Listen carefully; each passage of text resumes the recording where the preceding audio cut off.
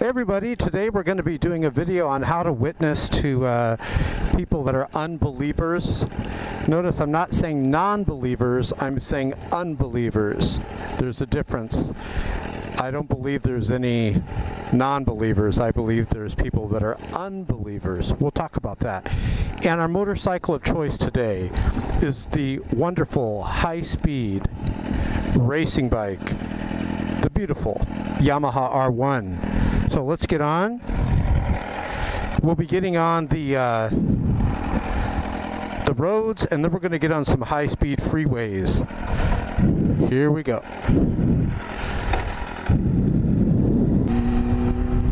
All right, here we go guys. Thanks for joining us again. So why do we call them unbelievers and not non-believers? And then we're going to get into how to witness to unbelievers, how to witness to them. Each person's different. You know, each person has a different personality and everything. However, we basically do it the same. Uh, we believe that the Word of God does have power, and so there really is no trick to it the word has power. You just preach the word. But let's talk about why we why do we call them unbelievers, not non-believers? Scripture says that all know that God exists. But they have unbelief, which means they choose not to believe. Now,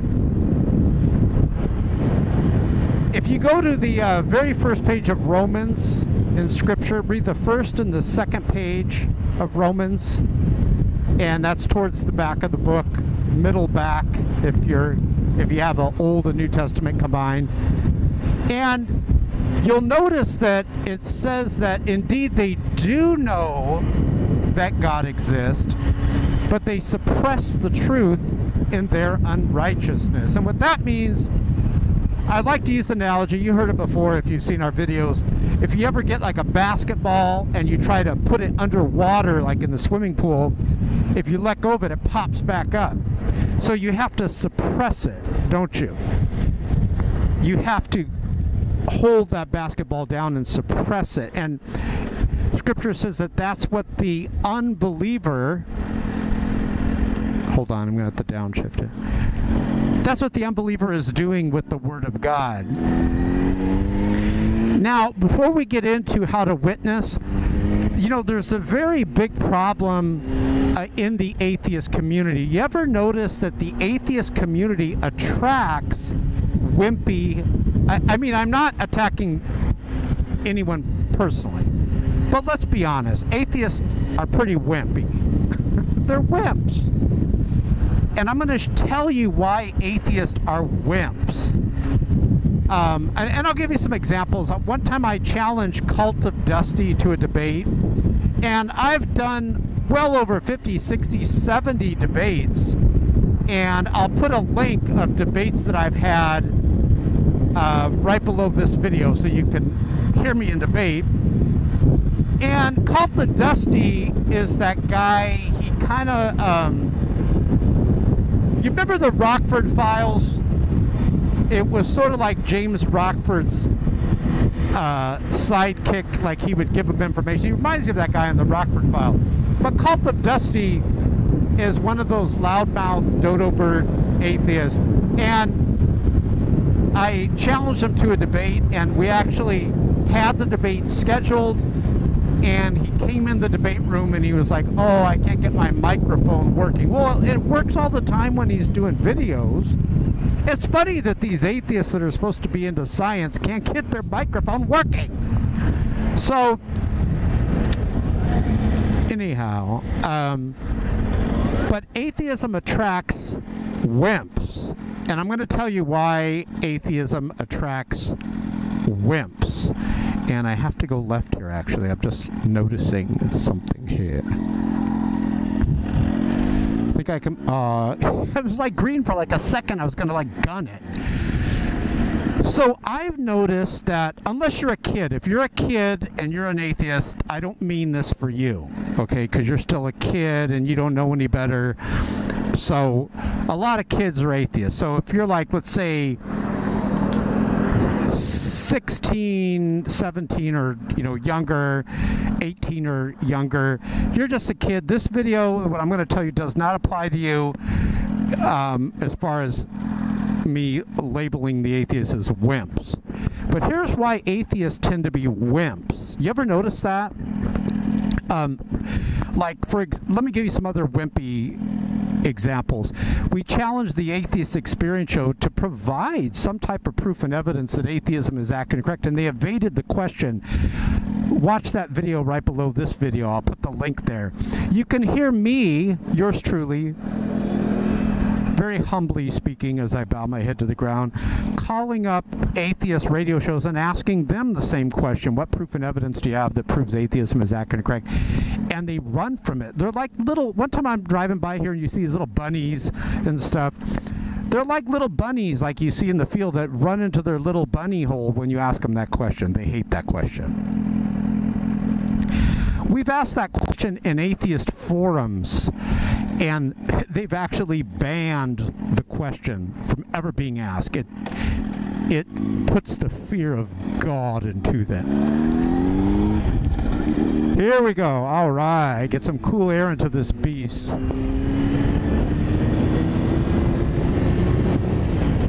So, what happens is, let's say you are a weak person, you don't have, let's say you don't have any education on Christianity, but you're going around saying you're a Christian, and you have low self esteem, let's say that's another problem, and an atheist comes up to you and starts talking about the magic man in the sky. I do uh, recommend reading that book, by the way. There's a book called Ma- The Magic Man in the Sky. Excellent book. It talks about the madness of atheism. But uh, the atheists are mocking this person, let's say they're a new Christian, and that new Christian or that new theist or the person that's searching for truth and what to. Uh, what worldview to gravitate towards if they don't have education in Christianity, and this is why we're doing this video, if they don't have answers, like Scripture says, always be prepared to give someone an answer who asks, they're going to fall away, and these wimpy people become atheists. That's why atheism's full of these wimpy people. Because how do atheists recruit people into atheism? They don't do it by using reason or logic. They do it by ridicule. They'll say, uh, they'll talk about how God is Santa Claus or whatever. They'll bring that up. Um, well, do you believe in Santa Claus? You know, they'll bring all these examples up. Uh, do you believe in the magic man in the sky and all this? And a weak person that is a wimp will become an atheist because they don't like their widow feelings being hurt. It's hurting their widow feelings. So they join the mob the atheist mob, and they become an atheist. This is why when you ask the atheist community what proof and evidence do you have that proves atheism is accurate correct, they don't like it. It reminds them of how they have to give evidence for their worldview. They thought they could be an atheist and escape using their brain. But now we're asking them to use their brain when we ask them, what proof and evidence can you provide that would prove at last, for heaven's sakes, would you please answer that question, my atheist friend? That would prove that atheism is accurate and correct. That's why the atheists don't like it, because they're a bunch of wimps. I'm just, this isn't a personal attack, but we all know the atheist community is full of wimps. Aron Ra, wimp. Thunderfoot, wimp. The amazing atheist, or as I call him, the amazingly hellbound atheist. Wimp. Now, the most wimpiest, wimpity, wimp, wimp, wimp, wimp, wimp, wimp, wimp, wimp wimp. of all, when you think wimp in the atheist community, who do you think of? That's right! Richard Dawkins. Shock, I don't really appreciate you talking disrespectful. Shut up, Dawkins! Go back into your little bunny hole. I just think it's disrespectful that you talk about. Oh, shut up. Let's see, the guy gives me the arm thing. He did. All right. Dawkins is afraid to debate on a one on one debate the number one Christian debater on the debate circuit, Dr. William Lane Craig. And Dr. William Lane Craig is begging to, ba- to debate Richard Dawkins. He's begging to, be- to debate him. begging to debate. Say that 10 times fast. He's begging to debate Richard Dawkins. Well, I already told you I'm a little bit scared to debate Dr. William Lane Craig. You wimp, Richard Dawkins. So, this is why, remember, when you're witnessing to atheists, you're basically witnessing to a wimp. You don't want to tell them that, because you're not going to win any souls telling them they're a wimp. But, you know, for the sake of YouTube, and I know some atheists are going to watch this, but atheism is designed, you need to know this, that atheism is designed to attract wimps. The only people that would ever say, oh, okay, I'll be an atheist, are people that are wimps and they don't like to get their little feelings hurt. Those of you that are still Christians, you have a spine of steel. You are confident and bold in your Christianity. You ever notice some of these wimps that uh, say they're a Christian and then they become an atheist, then they go to Mormonism, and then they go to this, and then they go to that, and they're because whatever person just mocks them, they'll move from one worldview to another, and that person is of no use to the body of Christ. They need to be firm and put their uh, their feet on the solid rock of truth. So let's talk about how you witness.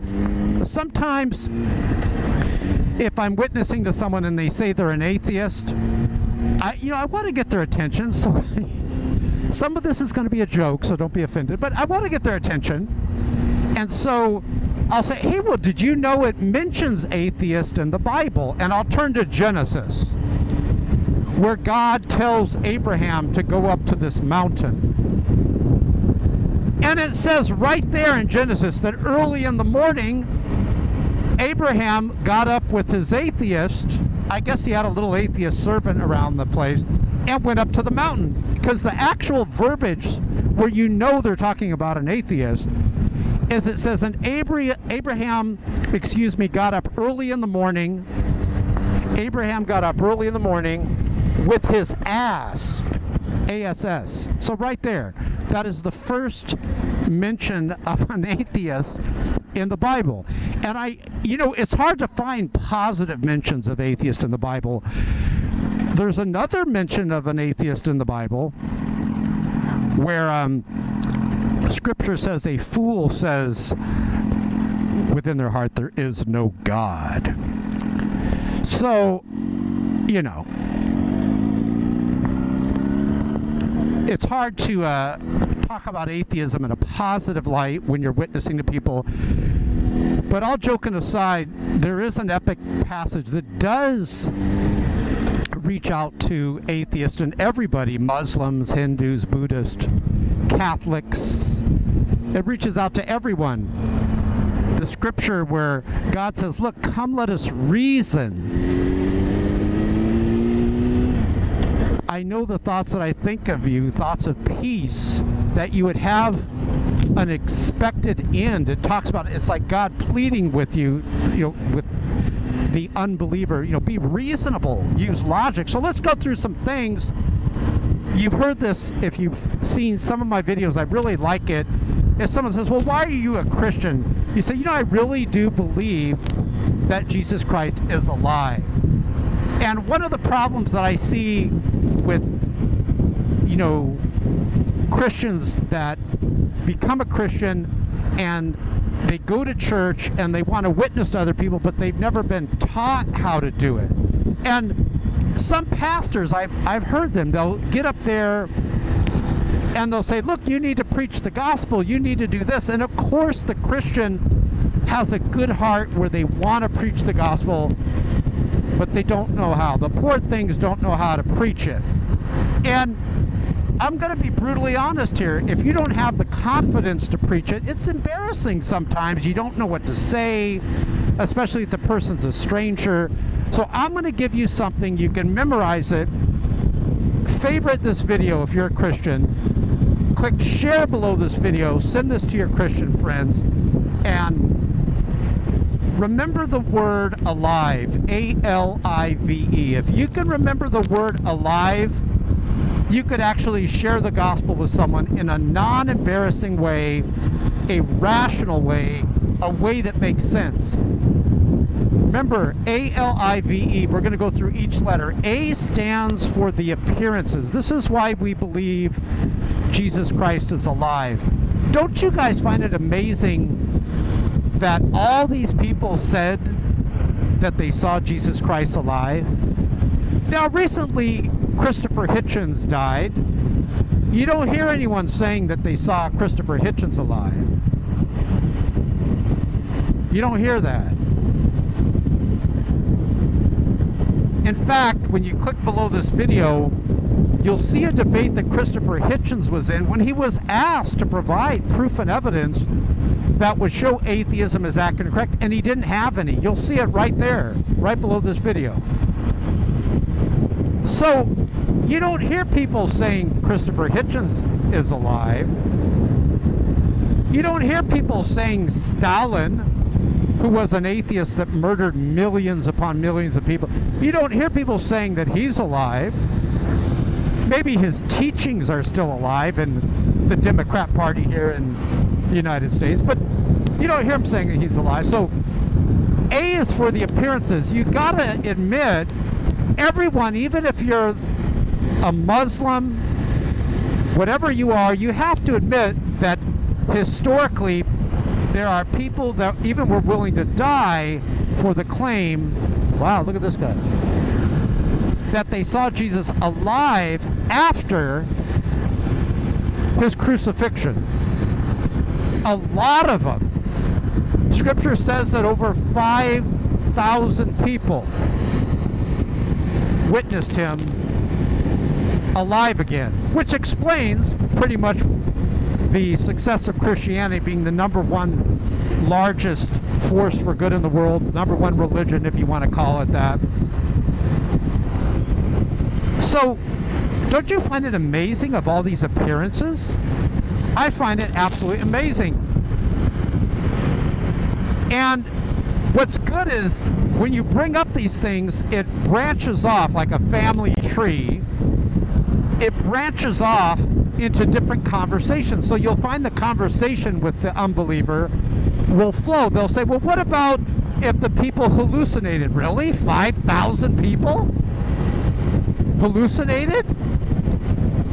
Even enemies of Jesus Christ?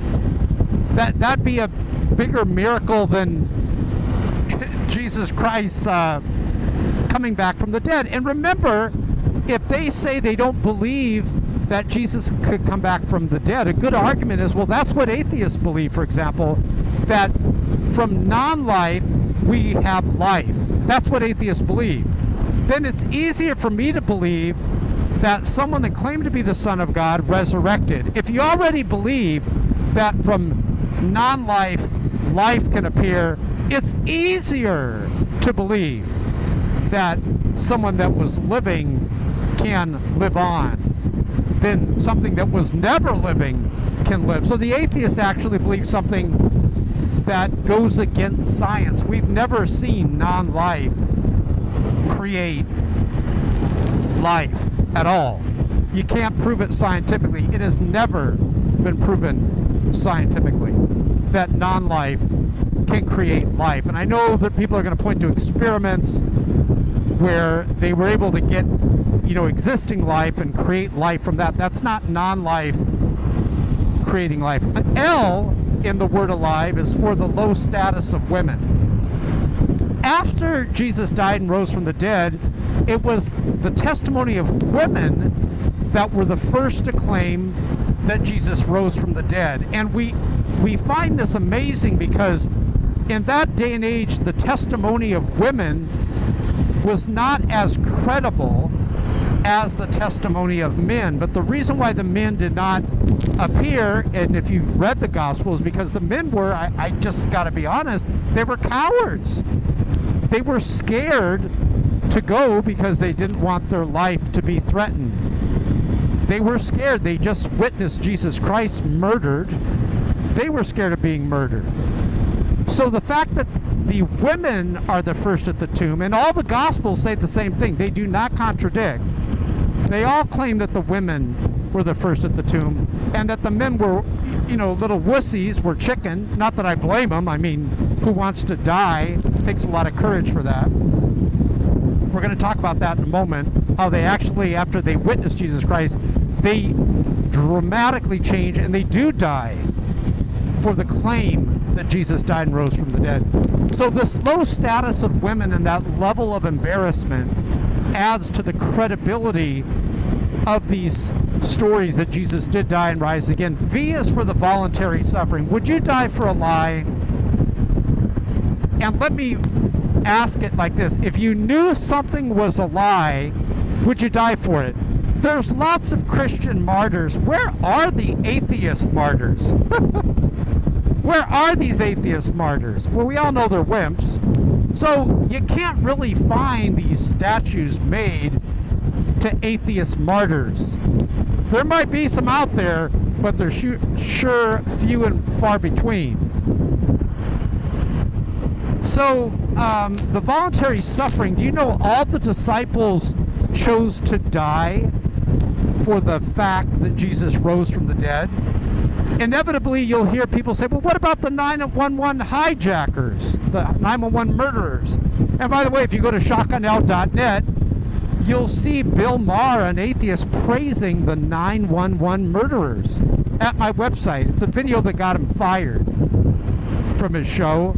Because he, right after 911, this idiot, Bill Maher, the atheist, just an idiot, he came out and he was praising the terrorists. This is how bad, you know, atheists tend to hate America.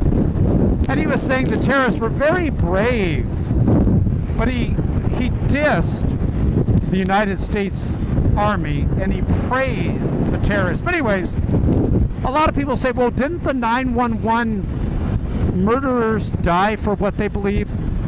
The 911 murderers never claimed to see Mohammed raised from the dead. They never claimed that. The reason why they murdered people in New York, because they hate America. They didn't do it because they love God. They did it because they hate America and some weird Islamic teaching, but you can't compare Islam to Christianity. Two different worldviews. They actually contradict each other. So you can't get something evil that someone did where they killed people and then say the disciples who never killed people ended up um, dying for the fact that Jesus Christ rose from the dead. So the disciples walked with Jesus. The 911 murderers never claimed that they saw Jesus, or for that matter, Muhammad, die and raise from the dead. So it's the point is mute. Would you die for a lie? The fact that all the disciples were willing to die, the only one that didn't, although he was willing, was John, who had, who penned Revelation, the, the last book in the Bible. So basically, the Bible, remember, it's not just a book, it's a library, it's a collection of books. So, the voluntary suffering let's get let's get on this a bit. The voluntary suffering adds to the credibility. You got people saying they saw Jesus alive. You have women, the first at the tomb. We know the tomb was empty. We're going to get to that because the Jews that had Jesus killed, even though Jesus was a Jew and a lot of his disciples were Jew. I'm talking about the religious Jews of that time, the top religious leaders they were saying, well, of course the tomb is empty. They admitted the tomb was empty, but they were trying to say the disciples stole the body. So, and they were never able to prove that. So, does it make sense the disciples would steal the body and they loved Jesus so much that they wanted to concoct this lie that he rose from the dead, and they're willing to die for it. It's so dumb that people believe that. It's more rational to believe that he really did rise from the dead, and the disciples were so emboldened that they were like, I'm even willing to die for Jesus Christ. What do I got to worry about? He died. He rose from the dead. I believe it.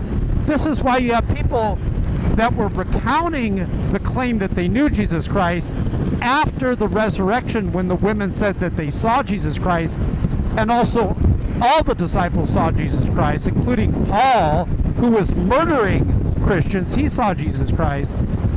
All of them said they saw Jesus Christ, and all of them, uh, with the exception of John, who God used to write Revelation, all of them ended up willingly, willingly dying for the fact that Jesus rose from the dead. So put that in your pipe and smoke it, my skeptic friends. Okay, so appearances, low status of women. I is for the immediate proclamation that Jesus rose from the dead. I, immediately after Jesus died and rose from the dead, they were proclaiming it in the streets that Jesus rose from the dead. V is the voluntary suffering. We talked about that. Would you die for a lie if you knew it was a lie? E is for the empty tomb. Everybody agrees, 100% of everyone watching this video believes, if you're willing to look at history and reality, that the tomb was empty of Jesus Christ, even though he was in there at one time and now he's not there. You don't need a lot of evidence to prove that the tomb is empty. All you need is proof that Jesus was in the tomb, which we have, and then proof that he wasn't. You don't need some real miraculous proof and evidence. You've heard the phrase, um, hold on a sec, miraculous claims require miraculous evidence. Powerful claims require powerful evidence. It's not true. All you got to prove is that the tomb was full and then the tomb was empty. Everyone already agrees on that. Hold on. How do we know the tomb is empty? And also, if you watch Lee Strobel's new movie, it's great. He talks about that in there too, that the Jews that had Jesus killed admitted historically that the tomb was empty. They had to. Why? Because people were in the streets of Jerusalem. Thousands of them. Not a few. Thousands. This guy is so nice. Thank you, brother. And they were proclaiming that Jesus Christ had risen from the dead. And I want you guys to know from the bottom of my heart, sincerely, 100%, I have absolutely no doubt that Jesus rose from the dead. I have absolutely no doubt that he is risen. Now, when you're talking to people about Scripture, when you're talking to the unbeliever, realize that the Word of God has power, okay? Scripture says that God's Word will go out and it will accomplish what it set out to accomplish. It says, His Word will go out, it will not return to Him void. And that's one thing when I was a new baby Christian, I had to realize that there's power in the Word. It's actually powerful. Remember how the Bible starts? Remember Scripture? Remember the Gospels, how it says, In the beginning was the Word. And the Word was what? Was with God. And the Word what? The Word was God. So when you preach the Word, it's extremely, extremely powerful. I don't know if you can see this. Um, this is a military, like an old military museum of all these old World War II and Vietnam era, Vietnam era choppers, rockets, jets. Another thing too that you know, as a Christian, you need to realize, if you don't mind me mentioning this, that everyone already knows that God exists. Otherwise, Jesus Christ is a liar. And Jesus is no liar. Jesus said that when he leaves the earth, that he will send the Paracletus, which is the helper. He'll send this helper. And this helper is spiritual. And he said the helper, very windy here. Hold on, let me tuck down. This helper will convict the world of sin, righteousness, and judgment.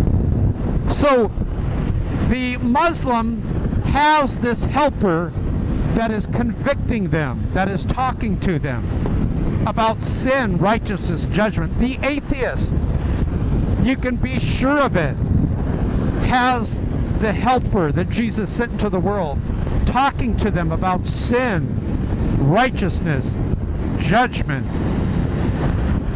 If it wasn't for the helper in coming into the world and convicting the world of these things, nobody would be drawn to God. Nobody would be drawn to Christianity. So why did Jesus say that he's sending the helper into the world? Remember before Jesus um, had to go to the cross, he said, look, you're going to be sorrowful, sorrowful for me. You're going to weep, but your sadness will be turned to joy. That's because they saw him again. And he said, and it's better that I go. It's interesting what Jesus said. He says, it's better that I go. We got uh, Air Force Base over here, which we're going to. He said, it's better that I go because when I go, I can send the helper which will convict the world of sin, righteousness, judgment. Sin, he said, because the people that reject him, they're under this bondage of sin. Righteousness, because I go to the Father and you shall see me no more. Judgment, and this is the good news, not judgment for you, because you're a Christian now. He says judgment because the prince of this world has been judged. It is awesome. Good news. Who's the prince of this world? Satan. So just remember alive appearances low status of women immediate proclamation voluntary suffering empty tomb notice i had nothing up my sleeve we're able to do all that by memory it, you know it'll take you about five minutes to memorize it but it's a great um, conversation maker. It's a great icebreaker. Um, you know, if someone asks you, you know, why are you a Christian? You could say, because I believe Jesus Christ is alive. Well, what do you think an unbeliever is going to say to you about that? What's their response? When you say to them, when they ask you, well, why are you a Christian? You say, because I truly 100% believe, no doubt, that Jesus Christ is alive. They're going to say to you, Take a guess. What are they going to say? What are they going to ask you? And and then you're going to be able to open up the doors and preach to them and talk to them. They're going to say, "Why do you believe that?" And then you go through what I just told you. Appearances, low status of women, immediate proclamation, voluntary suffering, empty tomb. It is easy. So God bless you guys. I love you guys so much. If you want to laugh and also you want to educate yourself and you want to hear me in debate, um, go below this video and you can listen to some actual debates. You can see the Atheist Experience Show failing to prove that atheism is acting correct. You probably should call into the show and ask them that question since they never answer it. But, you know, they're wimps. They're not going to answer it. They're going to run and hide into their little, their little bunny hole. But it's good for a laugh. Also, um, check out debatesonvideo.blogspot.com. Also below this video here, I have got the best, most entertaining debates that you have ever seen. I've got debates of Richard Dawkins losing debate. Shock, I don't know why you're telling me that. I tried my... Shut up, Dawkins!